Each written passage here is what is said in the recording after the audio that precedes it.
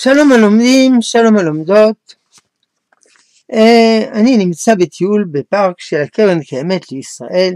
יש שם עצים עם פירות, האם מותר לאכול את הפירות? תשובה, ודאי לא, הפירות האלה אינם שייכים להפקר, הם שייכים לפארק, שממונה על הטיפול, על הארגון והכל, ולכן מי שרוצה צריך לבקש רשותם.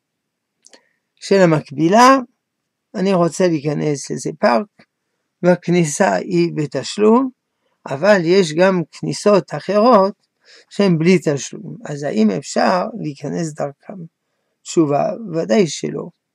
הפארק הזה הוא לא הפקר, יש איזו רשות שמטפלת בו ומשקיעה בו כספים, ולכן יש צורך לשלם בזה שנהנים ממנו. ומי שמשלם בישרות ובכשרות זוכה לעזרה כספית מן השמיים. שלום.